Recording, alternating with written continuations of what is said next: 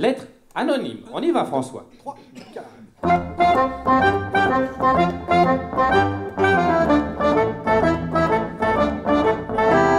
Cher monsieur l'anonyme, le monsieur sans patronyme, vous qui écrivez des lettres, inspiré par le mal-être, cher monsieur l'anonyme, le monsieur sans patronyme, dans un courrier au trésor, vous y dénoncez mes torts, vous en serez rassuré.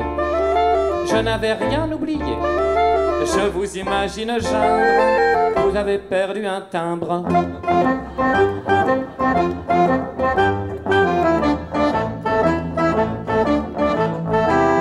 Cher monsieur l'anonyme, le monsieur sans patronyme, vous qui restez invisible, mais de qui je suis la cible, vous connaissez bien ma vie, vous m'envoyez tout surpris, mais si la vôtre est minable, je n'en suis en rien coupable.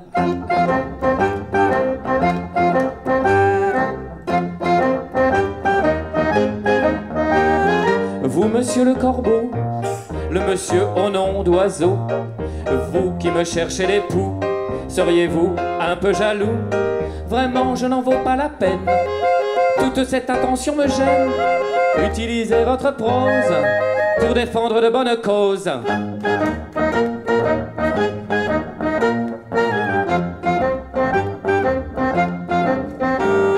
Vous le monsieur sans visage, je vous laisse ce message.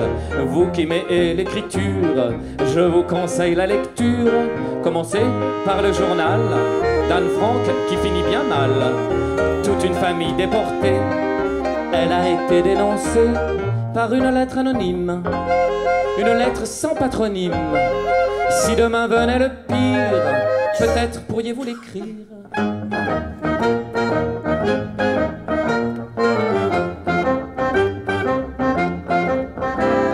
Vous le monsieur dans le noir, le monsieur couleur cafard, vous qui me souhaitez malheur, je vous rassure à mes heures, il m'arrive de souffrir, vous retrouvez le sourire, crachez-le votre venin, si cela vous fait du bien.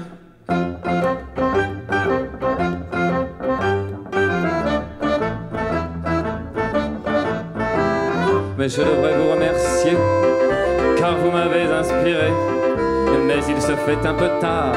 Je vous laisse à vos devoirs en formule de politesse, même si cela vous blesse, veuillez ne pas agréer